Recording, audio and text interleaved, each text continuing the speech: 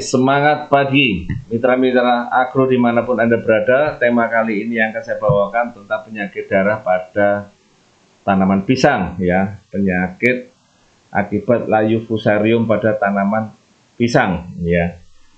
Nah sahabat-sahabat agro di mana pun Anda berada, kita cerita kali ini adalah penyakit darah ya, penyakit darah. Namun sebelum saya lanjutkan, barangkali ada yang belum mengenal dengan saya, nama saya Adi Nugroho, di mana keseharian saya mengawal produk-produk agro pada PT Natural Nusantara.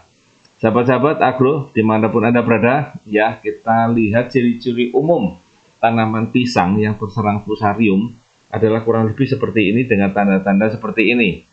Pertama kita lihat daunnya ada yang beberapa kuning dan kering, ya dimulai dari daun yang masih muda, jadi bukan dari daun yang tua. Kemudian kalau kita potong di bagian batangnya maka akan terlihat bintik berwarna coklat kemerahan atau lingkaran. Jadi kalau kita potong melintang maka nanti akan nampak lingkaran mulai dari kuning sampai ke jingga dan sampai ke coklat kemerahan.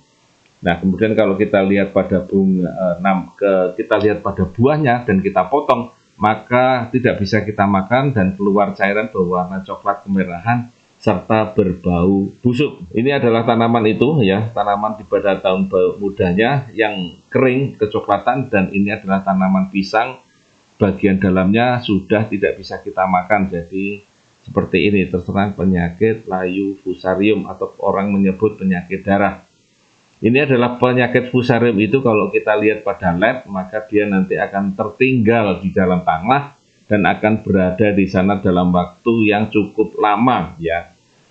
Dan ini disebut juga penyakit Panama yang disebabkan oleh Fusarium oxyporum ya FOC Fusarium oxysporum cubense ya. Jadi ini uh, spesies jamurnya adalah seperti ini ya.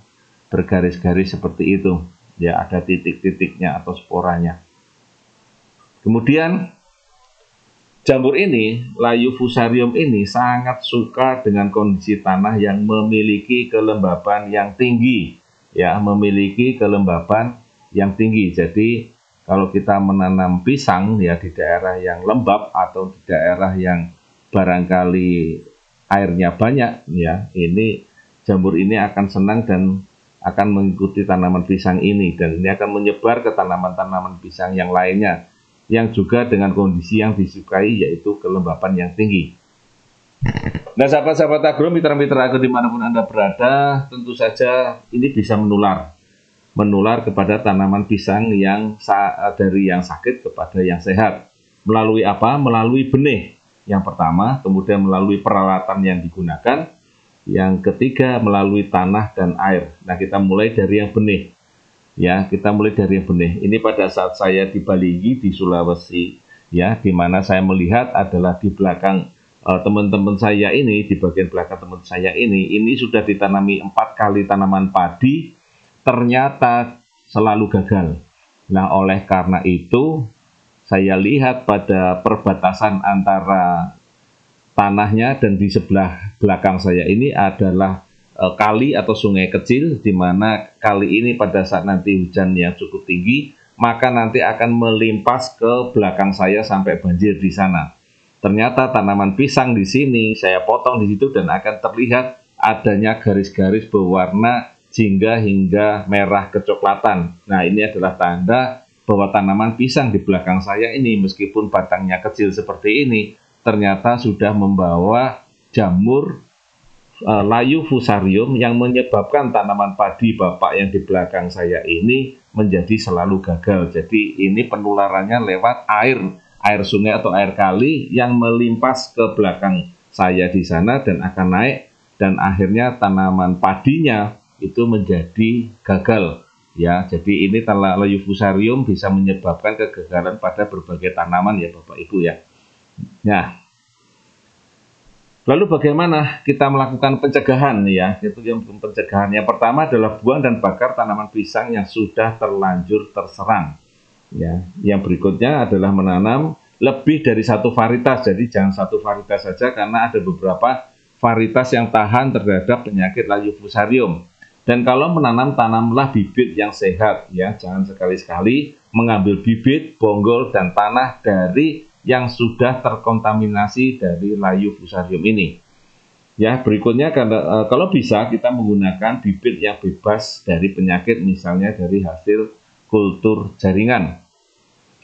Nah, kemudian sahabat-sahabat mitra-mitra, tentu saja selain tanah dan air ternyata gulma juga membantu ya, gulma juga membantu sebagai inang dari gul uh, menjadi inang dari gulma ya, gulma ini menjadi inang dari penyakit layu fusarium. Nah, oleh karena itu ya sahabat-sahabat ya mitra-mitra, gulma ini tentu saja mesti dibersihkan dan dibuang ya, kalau bisa dibakar karena ini masih mengandung yang namanya jamur ya.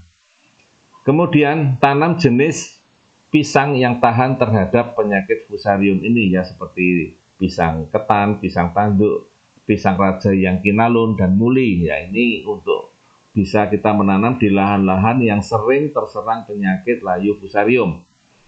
Nah kemudian teman-teman mitra-mitra ya pada daerah-daerah yang sering terserang maka bisa kita gunakan dengan Agesia hayati atau musuh alaminya daripada layu fusarium ini, yaitu kita bisa mencampurkan ataupun memberi dengan grio.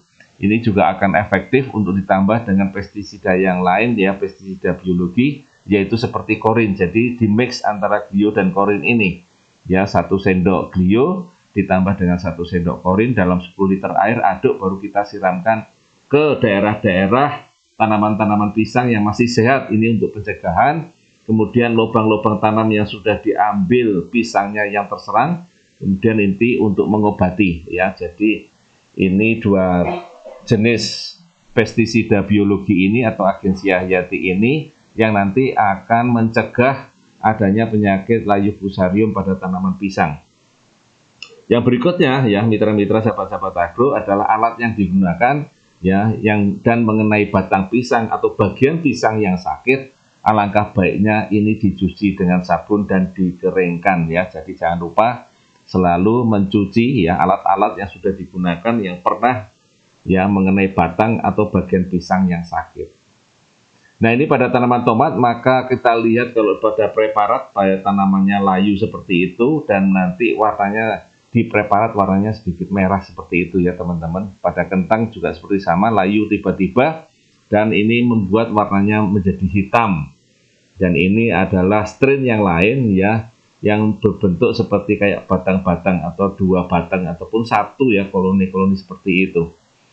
Dan ini adalah musuhnya, ya ini adalah jamur trichoderma yang berfungsi sebagai pengurai dari penyakit layu fusarium tadi.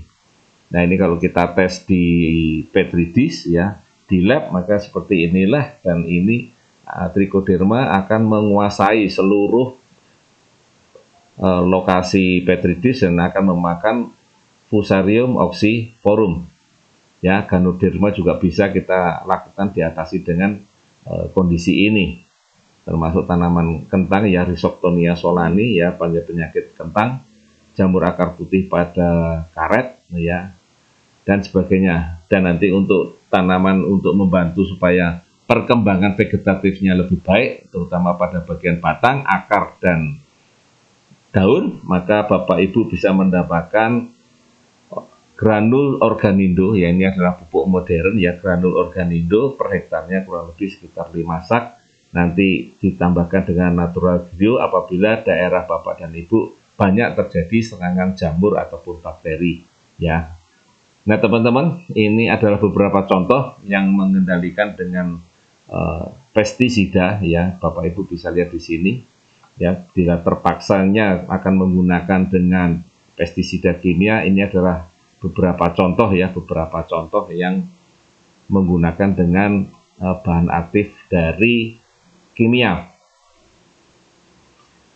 Kemudian ini adalah gulma yang berperan ataupun gulma di mana in, layu fusarium bisa menempel ataupun bisa tumbuh menempel pada tanaman-tanaman ini. Jadi agak hati-hati ya teman-teman semua, babandotan juga ada, ada jahe, ada kapas, karet, dan lain sebagainya, ubi jalar, ubi kayu, tembakau, dan sebagainya. Ini bisa menjadi inang daripada layu fusarium tadi. Oleh karena itu kami sarankan ya semua tanaman gulma ya termasuk 40 tanaman yang ada di sini sebaiknya agak sedikit dijauhkan agar apa? Agar tidak menimbulkan perpindahan jamur yang cepat ya karena ini tanaman gulma ini juga bisa menjadi tempat inang dan memindahkan jamur yang ada di situ berpindah ke tanam ke lahan-lahan ataupun ke tempat-tempat yang lain atau berpindah ke lahan-lahan lain dengan gulma-gulma ini. Nah sahabat-sahabat agro, mitra-mitra agro, tadi bincang-bincang kita tentang layu fusarium, mudah-mudahan bisa memberikan manfaat. Ya, terima kasih telah melihat channel ini, semoga menginspirasi buat teman-teman semua. Terima kasih, tetap semangat dan semangat pagi. Wassalamualaikum warahmatullahi wabarakatuh.